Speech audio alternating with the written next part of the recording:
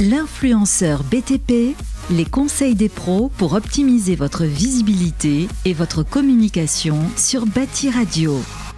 Bonjour à tous et bienvenue dans ce numéro de l'influenceur BTP, la nouvelle émission de Bâti Radio, une émission de dingue dont je suis très fier d'être l'animateur parce qu'elle va te faire découvrir les parcours uniques d'artisans qui ont réussi à faire des milliers, des dizaines de milliers, voire des millions de vues en mettant en avant leur savoir-faire sur les réseaux. Et donc, euh, cette émission a pour but de te partager à toi tous les conseils pratico-pratiques pour te dire comment faire, mais aussi te les faire rencontrer parce que ce sont des hommes, des femmes inspirants de tout âge et on a tous à cœur de mettre en avant les métiers du BTP grâce au réseau parce que pour moi c'est vraiment une mission. Je trouve qu'aujourd'hui ces métiers ont été sous-cotés et qu'il faut qu'on les mette en avant et que ça donne envie aux jeunes d'aller vers ces professions. Et donc euh, on est tous en mission pour ça et j'ai l'honneur aujourd'hui d'animer cet épisode spécial bonus où on va vous révéler les anecdotes de mes chers invités. Comment ça va les invités du jour? Ça va et toi Ça va super bien. On, vient on sort d'un resto, hein, donc là c'est un peu la digestion, mais on va se mettre en route. Euh, je vous propose chacun de dire un petit mot, de vous présenter. Bah, du coup, on va honneur aux dames. Kelly, est-ce que tu peux nous dire euh, d'où tu viens, quel âge tu as, quel, euh, quel est ton métier, et puis aussi sur quelle raison on peut te trouver?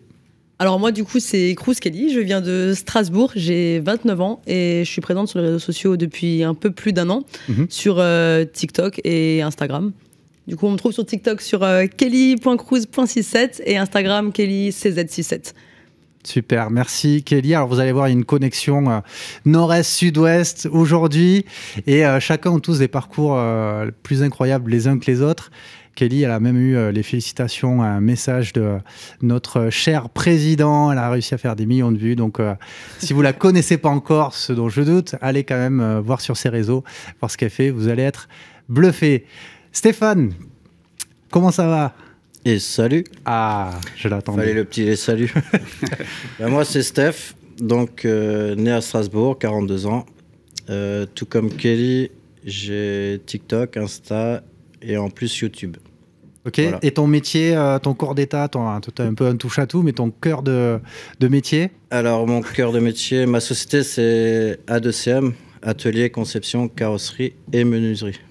Donc je me consacre plus sur euh, l'ébénisterie et agencement actuellement et bah, je kiffe ça quoi. Ça se, voit, ça se voit sur tes vidéos et je vous invite à aller voir ce qu'il fait. C'est absolument époustouflant. C'est un peu le, le MacGyver du BTP. Pour moi, il a des astuces pour tout, pour être plus efficient. Il a le, le, détail du geste et il vous propose des conseils qui sont assez bluffants. Donc euh, bravo Steph. Bah, merci. C'est un vrai plaisir euh, de t'avoir aussi. On continue le tour de table avec euh, Laurent, mon cher Lolo. Salut, bonjour, salut JB, merci pour l'invitation. Ça va? Ça va super bien. Très heureux d'accueillir. Tu peux nous dire du coup ton métier, d'où tu viens, ton âge si tu veux le mentionner aussi. On va commencer par là, ce sera fait. Donc Laurent, 50 ans, couvreur à Toulouse. Euh, depuis une dizaine d'années, donc j'ai mon entreprise. Euh, je suis principalement sur YouTube avec une, euh, avec une chaîne qui s'appelle Nous les artisans et je donne des conseils à mes petits copains artisans sur tout ce qui touche pas à leur métier. Je leur apprends pas à faire de la charpente, de la couverture, ni même du carrelage ou de la menuiserie. Non, je leur apprends en fait tout ce qui va être la gestion d'entreprise, trouver des clients, qui va être voilà, tout ce qui est annexe à leur job, faire un business plan, faire des devis, recruter, embaucher son premier salarié, prendre un apprenti de ça. Voilà. Plein de conseils pour artisans sur ce qui n'est pas de leur métier. Super, merci euh, Laurent. Et Laurent, euh, parcours incroyable aussi, il a démarré auto-entrepreneur, aujourd'hui d'entreprise de plus de 50 personnes. Euh, oui, on a, on a embauché quelques personnes, effectivement. et puis il a réussi la prouesse aussi de faire le prime time aussi, de passer sur les, les grandes chaînes suite à des, des coups de gueule pendant la crise des Gilets jaunes notamment. Bah, c'est l'avantage aussi des médias aujourd'hui, c'est que si on a quelque chose à dire, on a l'occasion de pouvoir être entendu et ça c'est chouette. Donc effectivement, il y a eu un ou deux coups de gueule qui, qui ont été assez loin et c'est cool. Ouais, c'est top, bravo pour ça. On va revenir dessus et puis aussi j'ai le grand plaisir d'accueillir Cédric. Ça plaisir vient du sud-ouest aussi. Salut, donc Cédric de Toulouse, 38 ans et euh, j'ai lâché la truelle au profit de la caméra. Waouh. Donc, euh, nouveau projet, euh, j'ai créé le 7e artisan. Donc c'est le mélange entre le 7e art, le cinéma, et le métier du BTP, donc des artisans. Et euh, je mets en avant nos héros du quotidien pour euh, qu'ils soient connus et reconnus. Donc euh, voilà, je vous invite à voir mes vidéos sur LinkedIn. Moi, c'est vraiment là où je préfère euh, travailler. Je sais pas comme si c'est le terme adapté, comment on dirait. Je pense qu'on est vraiment dans un travail. Ouais, c'est ça. Donc euh, voilà, c'est euh, voilà tout ce que je fais. Écoute, bravo. Moi, je suis un grand fan du 7e artisan et bravo pour mettre en avant les métiers avec l'humilité, la bienveillance et, l'œil que tu as. Et donc aujourd'hui, on est là pour parler de, des anecdotes. Vous allez tout savoir sur les différentes anecdotes. Ils vont vous dire des choses qu'ils n'ont jamais révélées à personne. N'est-ce pas, Steph? Il euh, faut que je réfléchisse. Alors, on va démarrer avec euh, la première euh, anecdote. Ah, tu es galant. On va parler de la première publication qui reste gravée pour chacun d'entre vous. La publication qui a eu un succès dont vous êtes très heureux et à laquelle vous vous attendiez pas, qui vous a propulsé, voilà, qui vous a apporté beaucoup. Et donc, on va faire un petit tour de table. Vous allez nous raconter ça chacun. Kelly, quelle, quelle est la publication, l'anecdote que tu pourrais partager? Alors moi, la publication qui a bien pété, c'était ben, sur la musique, je suis une bête de meuf. euh, du coup, c'était vraiment une trend où toutes les, les, filles, en fait, elles faisaient avec euh, leur sac à main, euh, leur voiture, euh, voilà, basique. voilà. Et moi, du coup, en, en, voyant ça, en fait, je me suis dit, je vais le tourner en, en niveau bah, bâtiment, du coup. Et bah, j'ai pris mes sacs de colle, j'ai montré ma voiture, ma camionnette, bah, mon travail, mon travail, avec mes collègues, et ainsi de suite. Et c'est vrai que celle-là, elle a fait 10 millions de vues, et c'est ce qui a pas mal bougé. De là, j'ai fait euh, un reportage avec Brut et tout ça. Et disons que c'est vraiment de là que c'est parti euh, fort, quoi. Ouais, moi, c'est vrai que je t'ai connu avec la vidéo de, Brut aussi. Je me suis dit, mais waouh voilà. D'où elle vient Donc, c'est cette vidéo qui a, qui a, déclenché beaucoup de choses. Ouais, celle-là, elle a fait beaucoup, ouais, exactement. Et du coup, tu avais planifié ça? Tu t'étais dit, celle-là, va me faire exploser Tu l'as fait pour Non, pas du tout. En fait, euh, comme dit, j'ai eu l'idée en juillet. Mhm. Et euh, bah, pour te dire, je l'ai fait seulement en septembre. Donc c'est vraiment un truc dans ma tête qui traînait et je me suis dit, bon, bah, à l'occasion, je le ferai. Et en septembre, après les vacances, ben, ben je l'ai fait et, ça a pété, ouais. Il suffit d'une publi. c'est ça, exactement. Waouh, bravo. Steph, tu as, une, euh, une, anecdote à nous partager sur une vidéo qui a, qui a explosé? Euh, Ouais, en sachant qu'on sait jamais quand ça tombe. Oui. Donc du coup, pour ma part, c'est ma quatrième ou cinquième vidéo que j'avais faite sur le bricolage. Oui. Parce qu'avant ça, j'ai fait avec les petits chiens, avec les frangins et tout. Vu que c'est mon fils qui m'a dit ouvre euh, TikTok. Du coup, je, me, je présentais comment on pouvait percer euh, avec un diamètre, euh, un fourreau à bois diamètre 5 pour mettre un taquet sans traverser la planche. Ah oui, parce que moi, ça m'arrive de traverser les murs, les planches. Ouais, l'astuce, c'était simplement du scotch. Et du coup, euh, bah là, tout le monde m'a marqué. Euh, ah, bah toi, t'as percé sur TikTok, t'as percé sur TikTok, t'as percé sur TikTok. Et comme je suis un, petit vieux, tu vois, je comprenais pas ce qu'il me disait. Et ma femme a dû m'expliquer que voilà, c'était Steph, ça veut dire que t'as as réussi sur TikTok. Alors, qu'est-ce que c'est réussir, euh, Steph Toi, c'était en millions de vues Tu as des marques qui t'ont appelé euh, Qu'est-ce que. Bah oui, cette vidéo a fait 1,7 million. Euh, des marques, non, pas de suite. Après, j'ai eu des demandes, effectivement, mais de tout genre. Donc, euh, moi, je préfère rester dans mon domaine. Je vais pas montrer, si je peux mettre un peu d'humour, vendre des strings, par exemple. Ah bon? Donc, je vais pas faire ça. T'es sûr que tu vas pas essayer? Non, même pas. J'aimerais bien voir ça. Et, voilà, quoi, je, je, veux rester dans mon milieu. Et si maintenant bah, ça venait à me plaire euh, ce qu'on me propose euh, et que ça me correspond, alors oui, je, le, je, le ferai. Mais sinon, je le fais pas. Quoi. Ok, ok, voilà, super. Tout simplement. Merci pour cette anecdote. Euh, donc vous qui nous regardez euh, sur YouTube ou qui nous écoutez en podcast, je vous invite à aller les voir euh, ces vidéos parce que les deux sont, sont très très bien. côté toulousain, qu'est-ce qu'on a comme anecdote côté Toulouse? Je me rends compte qu'on a d'un côté Strasbourg, de l'autre côté Toulouse. Le match qui aura la meilleure anecdote Laurent, je t'en prie. Ok, il y a une anecdote que j'ai toujours à, Toulouse. Je dis, Toulouse, c'est à côté de Mulhouse. On est vraiment à l'opposé. Bref, allez, anecdote. Euh, l'anecdote, l'anecdote. Oui, forcément, je suis obligé de parler d'une ouais, publication Facebook qui, a, qui était au moment des Gilets jaunes. Hum. Puisque, puisqu'en tant que patron, je me voyais pas. Euh, enfin, je pouvais être solidaire de ce mouvement des Gilets jaunes, mais je me voyais pas aller casser des abribus ou faire des trucs comme ça. C'est c'est hum. pas. C'est pas. C'est pas je suis pas, je suis pas fait pour ça, je suis pas, je suis pas câblé comme ça, mais je voyais pas trop quoi faire en fait pour me révolter sans tout casser. Et du coup, j'ai eu cette idée qui était de verser une prime à tous mes salariés en refusant de payer les charges sur, euh, sur cette prime. Donc rebelle. ouais, ouais, rebelle, rebelle. J'ai dit, je, donc je l'annonce fortement, je paye une prime mais je ne paierai pas les charges. Donc du coup, c'était assez chaud. Et euh, mon comptable était fou. Je mets la vidéo sur euh, Facebook, ça a fait 1 700 000 vues. Donc déjà, tu peux plus le cacher l'histoire. Ah, t'es foutu. Hein. c'est mort. T'es mort, t'es mort. Et puis en fait, ce qu'il y a, c'est que ça allait beaucoup plus loin que ça, parce que du coup, les radios sont venus me voir, il y, a la télé qui est venue me voir, ainsi de suite. Et du coup, du coup, du coup, trois jours, les, gens de la République en marche m'ont également contacté. J'ai rencontré ma députée, j'ai rencontré plein d'élus. J'ai dit mais qu'est-ce qui se passe? Laurent président, Laurent président. Et trois jours après, euh, Emmanuel Macron sortait la prime Macron, qui était ce que je venais de faire en fait. Euh, et ça, ça m'a fait juste halluciner. Alors ça n'a rien à voir. alors que c'était la prime Nobel en vrai. Mais... La prime Nobel. je sais pas ce qu'ils ont branlé. Ah, c'est dingue. pas ce qu'ils ont fait. Mais c'est juste quelque mm. chose d'incroyable, puisqu'après, effectivement, ça, la prime Macron est née. Et du coup, ben, ce que j'avais fait dans l'illégalité, entre guillemets, trois jours après, est, rentré dans la légalité, puisque, Emmanuel Macron a fait cette prime. Alors, est-ce que j'en suis à l'origine ou pas On va se calmer. Je pense que c'était quelque chose qui était dans les tuyaux. Mais en tout cas, euh, voilà. En tout cas, ça a fait un petit buzz chez nous et ça a permis un petit peu de me faire connaître. Ouais. Et t'es passé en télé aussi derrière Oui, on a vu euh, LCI, BFM, machin, ainsi de suite. Donc c'est bah, agréable. C'est comme être ici autour de cette table. C'est toujours agréable de pouvoir s'exprimer, d'être écouté, entendu. C'est chouette. Et partager des, belles choses, des beaux messages. Du coup, Cédric, tu as la lourde tâche de te donner une anecdote après celle-ci. C'est ça. Juste, t'as pris des contrôles ou pas en suivant C'est pas si bête ce que tu viens de dire. Évidemment, c'était ma grosse peur. Hein. C'était le, le, mm. contrôle URSAF. Donc, effectivement, euh, j'ai pris euh, des contrôles fiscaux. J'en ai eu deux. Contrôle URSAF aussi. On n'a pas, non, non, on n'a pas été redressé. L'administration, euh, ah. d'abord parce qu'on on était irréprochable, et puis parce que voilà, l'administration a, rien trouvé à redire, puisque on l'avait passé sous forme d'acompte au mois de décembre quand on a versé cette prime, et on a pu régulariser en janvier. Heureusement, j'avais bien été là aussi aidé par mon expert comptable. C'est peut-être pour ça que maintenant, d'ailleurs, j'ai une chaîne YouTube où je donne des conseils aux artisans. C'est important d'être bien conseillé. Bien sûr. Mmh. Exactement. Ah, moi, de mon côté, en termes d'anecdotes, j'étais un tout petit et euh, j'ai Bricoman qui m'a proposé une web série de 17 épisodes avec un autre artisan que j'adore, euh, que vous connaissez peut-être, Nicolas Paul. Mmh. Et euh, vraiment. L'électricien préféré. C'est ça, l'artisan électricien préféré, un type à nord.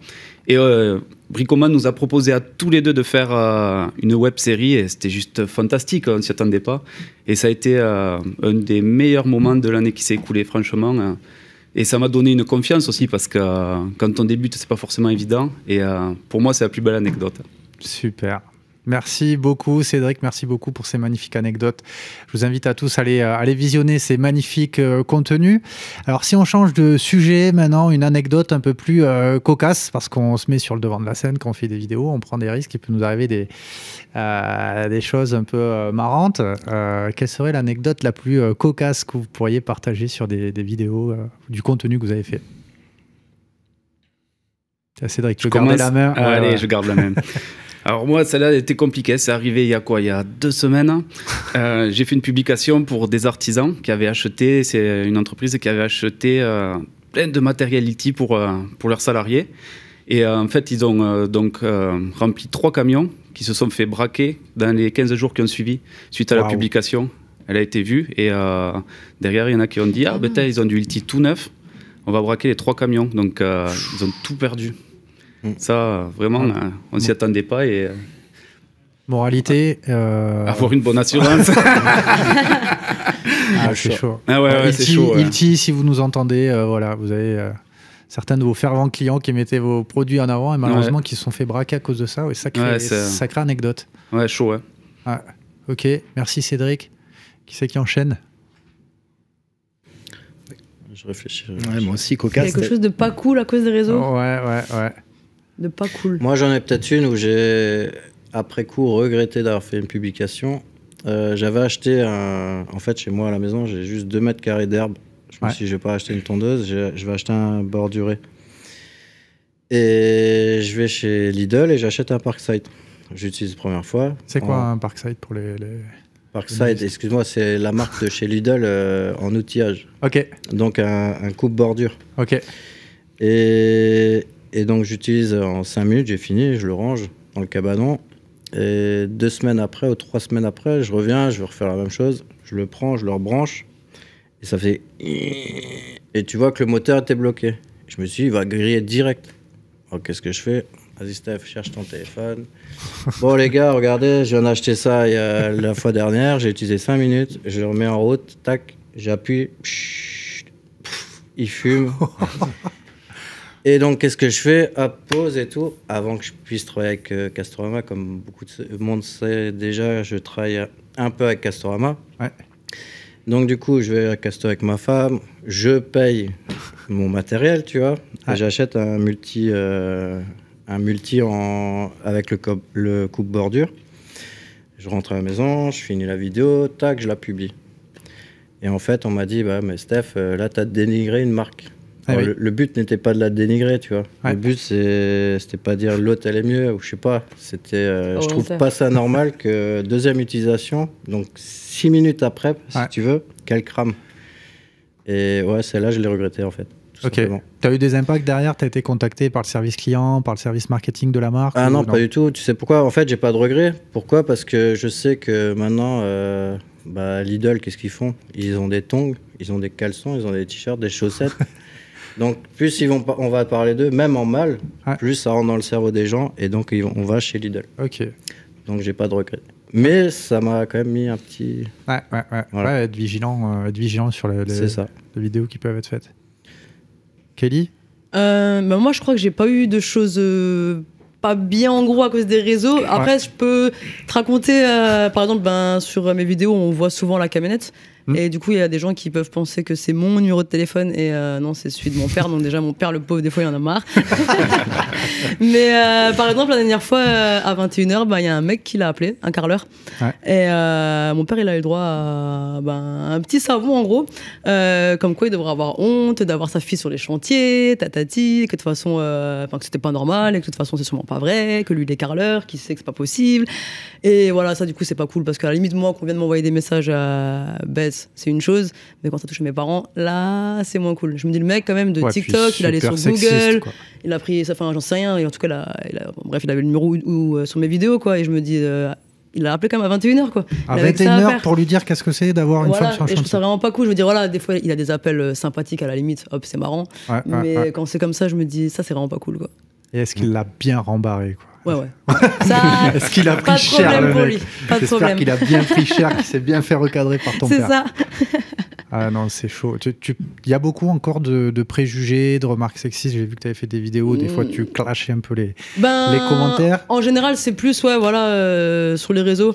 En réel, j'ai peut-être eu une fois un ou deux clients. Une fois, j'ai eu un client, euh, il est venu la- dans sa maison. J'avais j'avais quasiment fini sa salle de bain. Le client, il vient super content. Ah, c'est trop beau, nanani, nanana. Bref, top. Euh, il part du chantier, il appelle mon père, il savait pas que c'était bah, mon père, il savait que c'était le patron, mais il savait pas que c'était mon père. Ah oui, oui. oui. Et il lui dit clairement, euh, c'est quoi cette femme sur mon, sur, euh, sur mon chantier? Et du coup, mon père, il lui dit, pourquoi il y a un problème? C'est ma fille. Et là, du coup, le mec il s'est senti bah, un peu con parce que du coup, en plus, et moi, il venait de me faire toutes les éloges et ainsi de suite, super content. Et Et, j'ai pas trop compris. Ouais. Donc, parce que bon, le travail, il lui plaisait. Donc, c'était vraiment, je pense que lui, c'est vraiment le fait que ce soit une femme qui était. C'est simple. Après, c'est vraiment, ça m'est arrivé deux fois. Ça m'est arrivé deux fois depuis que je travaille, ça fait quand même dix ans. Ouais. Et la deuxième fois, c'était le client qui était un petit peu bof-bof au début. Une fois Ouais. qu'il a vu euh, le travail, il était super content. Donc, Ouais, euh, Mais deux fois trop. c'est ça, exactement. Deux fois trop. et bravo pour ce que tu fais parce que j'espère que les, les mentalités vont évoluer.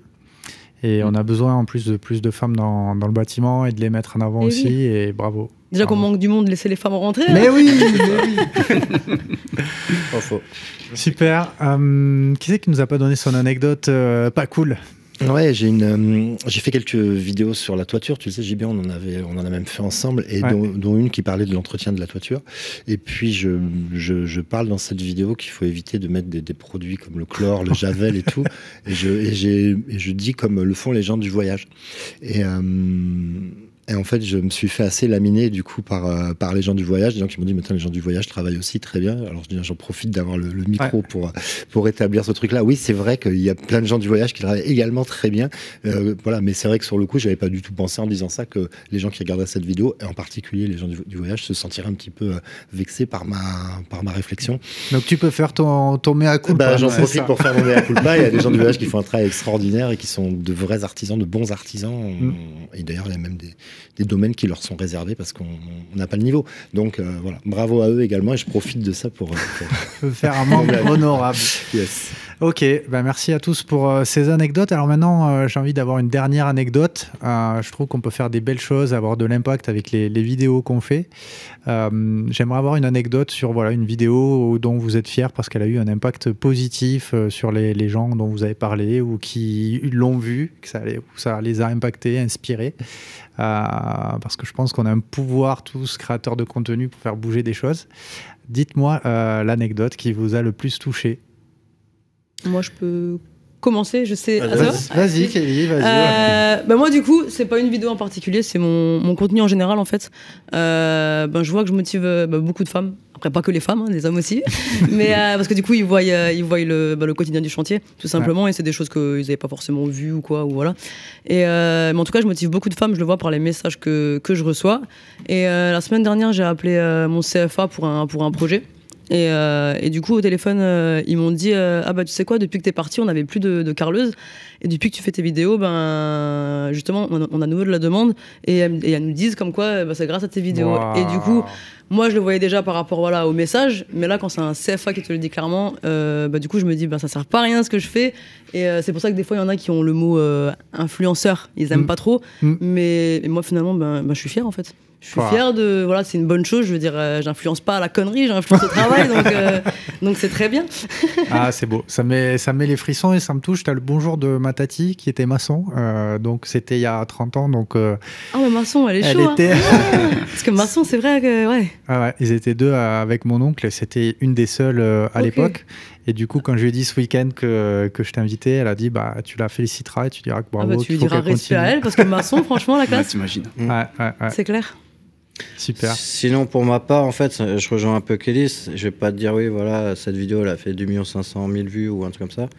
Moi, c'est plus le général où, pour moi, vu, en tant qu'autodidacte, si tu veux, je me dis, mais je me trompe aussi, c'est que je me dis que les gens, s'ils si, regardent faire, ils savent le faire. Hmm. Donc, en fait, à travers mes vidéos, euh, je, je, pense toujours dans cette optique-là je montre quelque chose et je me dis, euh, par exemple, Kelly, elle regarde ma vidéo, ben voilà, euh, si elle regarde, elle saura le faire. Ouais.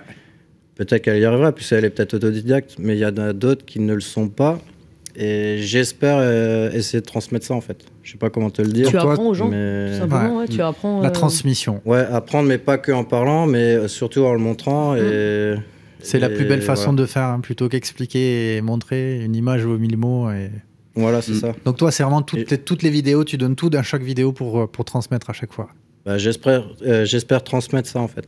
Après, est-ce que ça marche ou pas Je sais pas. Euh, Tu me vois me bah faire si, quelque chose. pas là sinon. Hein. Non, mais d'accord. Non, mais je te parle pas dans ce sens-là. Mais je voudrais que, je sais pas, sur les 2 500 000 qui regardent la vidéo, que sur les 2 500 000, ils savent tous faire ce que j'ai pu faire. Ouais. Tu, vois, tu vois ce que je veux dire? Tout à fait. Et, bravo pour ça. C'est vrai que jamais le retour là-dessus. On le voit dans les, dans les vidéos que tu fais, on voit vraiment qu'en fait, tu t'es cassé la tête. Tu as réfléchi sur comment euh, optimiser le geste et rendre ça abordable, même à des personnes comme moi qui ont deux mains gauches. Quoi. Euh, ouais. C'est vrai qu'après, moi, par exemple, en démisisterie ou menuiserie, j'ai pas été à l'école pour. Donc, mhm. euh, moi, je pars du principe que si j'étais allé à si j'étais allé à l'école, on m'aurait peut-être dit non, ça tu le fais avec cet outil et pas avec autre chose. Et moi, si tu veux, je l'ai appris de moi-même. Donc tu vois, tu vois je, je, suis plus dans le contournement, peu importe. Tu veux une équerre, bah, tu prends une Portikia. Désolé pour la marque, je sais pas si on a le droit de le dire. tu veux une équerre, euh, tu prends ton paquet de cigarettes. D'usine, il est, il est forcément. Système D. Euh, voilà, tu peux prendre ce que tu veux du moment que c'est d'équerre. Voilà. Moi, je pars de ce principe-là, j'ai cette logique-là que j'essaye un peu de transmettre et arrête de, rester euh, comme les chevaux. Ouais, ouais, ouais. Et voilà. Bloqué dans un carcan. C'est ça mon truc. Super. Voilà. Merci Steph. On retourne du côté Toulouse. Alors, dans le sud-ouest, qu'est-ce qu'on a comme euh, anecdote euh, fierté? En fait, moi, c'est exactement le contraire de, Stéphane. C'est-à-dire qu'en fait, nous, tout, ce qui touche pas, c'est genre la, la, gestion, genre la comptabilité, genre faire un, business plan, la TVA, c'est des trucs qu'on te montre. Un business quoi? Un business plan qu'on te montre et tu comprends pas. Et moi, c'était vraiment ça mon problème. En fait, on me montrait ça et franchement, je comprenais pas. Je, je te rassure, je suis pareil. J'aime pas la gestion. Et, le, non, mais c'est vrai, c'est vraiment compliqué. Mm. Et néanmoins, on a besoin aujourd'hui, parce c'est quand on est artisan, on est d'entreprise, on a besoin d'avoir quelques notions, en tout cas d'être bien accompagné à ce niveau-là. Donc c'est d'essayer de rendre euh, tout ça accessible. Et comme vous deux, c'est pas une anecdote en particulier, mais c'est plutôt les messages en général que je reçois de gens qui bah, de gens qui, qui, me disent que voilà mon contenu est cool et les, les pour se monter. Alors en plus bon moi j'ai pas non plus une, une, communauté qui est hyper hyper grande donc je prends encore le temps des fois d'appeler les gens parce mm. que je les sens trop en galère. Donc du coup euh, je les appelle parce que je vois pas comment je vais leur expliquer par message euh, pour voilà quand si j'ai pas répondu dans si j'ai répondu dans une vidéo je les renvoie vers la vidéo si j'ai pas répondu tu vois déjà ça me donne des idées de vidéos aussi. Et puis et puis j'appelle je les aide parce que voilà quand, quand parce qu'il y a vraiment un gros gros gros besoin pour les gens qui se montent d'être accompagnés sur tout ça. Mm. ça, ça me fait beaucoup, beaucoup réfléchir à, produire encore du contenu, des choses plus simples, peut-être des choses aussi qui pourraient aller chercher, bon, je sais pas, ou faire de l'accompagnement. En tout cas, j'y hmm. réfléchis beaucoup. Ça, ça, ça, ça, te plaît, hein, ça te titille hmm. depuis longtemps. Ça. Bah, tout, ce qui tout ce qui est utile, dans le fond, euh, là, c'est vrai que c'est quand même chaud. Dans le bâtiment, il y a besoin d'apporter énormément d'aide. On dit qu'il y a à peu près un dirigeant d'entreprise du bâtiment sur deux qui se sent au bord du burn-out parce que trop de problèmes administratifs, trop de problèmes pour recruter, trop de problèmes face à des consommateurs qui sont de plus en plus exigeants. Et euh, bah oui, on contribue aussi à ça tous, donc euh, c'est cool d'avoir des beaux messages. C'est vrai qu'en tant qu'artisan, donc pour moi-même, euh, comme tout le monde, je pense, on a, on a une pression. Qu'on le mmh. veuille ou qu'on le veuille pas. Moi, je suis plutôt à la baba cool, mais j'ai quand même une pression. Et si tu veux, le, ce petit moment de vidéo, ça me fait ma coupure de journée, de... c'est mon moment de détente, en fait. Tu vois ce que je veux dire? C'est mon moment où je sors de mon boulot, de mon stress, de mon si. Et c'est mon moment d'échappatoire, en fait. Voilà, c'est juste. Euh, mmh, et toi, pour toi, moi, je verrais bien ce que tu fasses des réponses toutes faites en version vidéo. Euh, ah ouais. Et, remettre le lien à chaque fois. Voilà, et tu mets un lien ça serait pas mal. Moi, c'est une idée euh, directe, une idée, tu viens de dire. Je me creuse les ménages pour faire des shorts et peut-être qu'effectivement, il y a un vrai sujet parce que moi, mes vidéos, elles sont plutôt rallonges. je me dis, je ne vois pas comment je vais mettre ça en short. Mais il euh, faut qu'on en parle. et, c'est comment ta page? Euh, Nous, les artisans. Ok, d'accord. Mm. Sur YouTube. Mais vous aviez pas déjà fait une, une ensemble, vous deux on a, on a, fait des vidéos ensemble, ouais. Mm. Mm. Sur comment incontournable, être incontournable euh, sur, le digital, mm. comment répondre aux nouvelles attentes du consommateur, on en a fait plusieurs. Ah, là, j'avais quelqu'un qui avait plein d'infos de nos artisans, donc évidemment, je suis allé le chercher et on a fait, euh, on a fait une belle interview, plusieurs d'ailleurs. Ah. On a fait plusieurs, on a tourné plusieurs vidéos ensemble. Ouais, on en a fait même sur les fuites de toiture aussi, que faire en cas de fuite.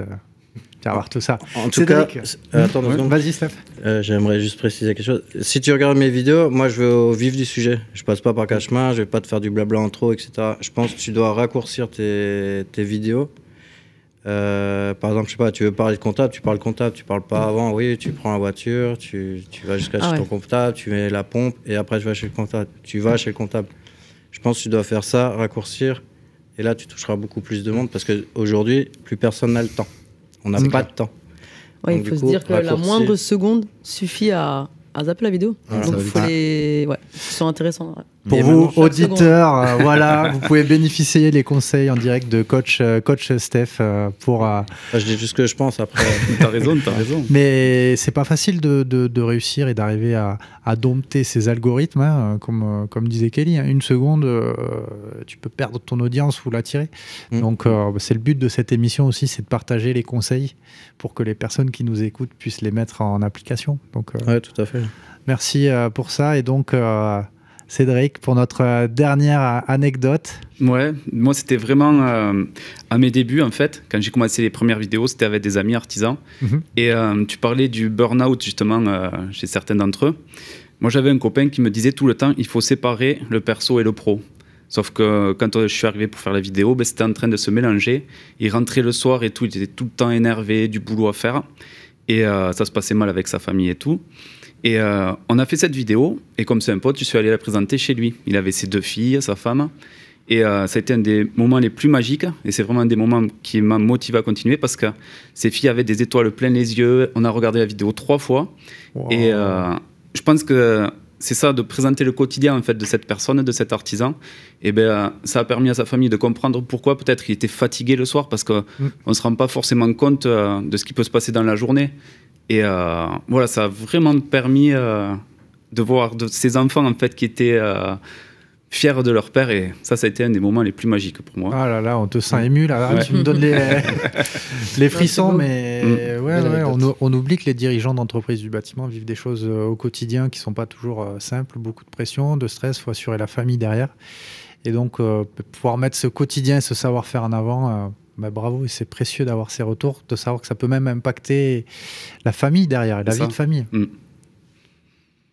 Ok, bah écoutez les amis, été super heureux de faire cette émission avec vous, de partager aux personnes qui nous écoutent euh, vos anecdotes euh, sur votre quotidien euh, d'artisan et d'influenceur du BTP.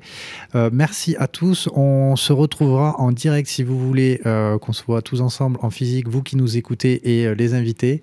On sera à Batimat, donc le 3 et le 6 octobre. Ça va être une édition, je pense, assez incroyable. Donc on a venez euh, venez nous voir à Batimat, ça va être ouf. Et puis surtout, nouvelle émission. On a besoin de vos commentaires. Dites-nous en commentaire ce que vous avez pensé de ce numéro spécial. Dites-nous si vous avez des anecdotes également à partager. Et puis sinon, je vous dis à très bientôt donc euh, sur la chaîne euh, Bâti Radio. Et je vous dis à, à bientôt avec l'influenceur BTP. Vous allez adorer être connecté. L'influenceur BTP une émission à réécouter et télécharger sur le site de Bâti Radio.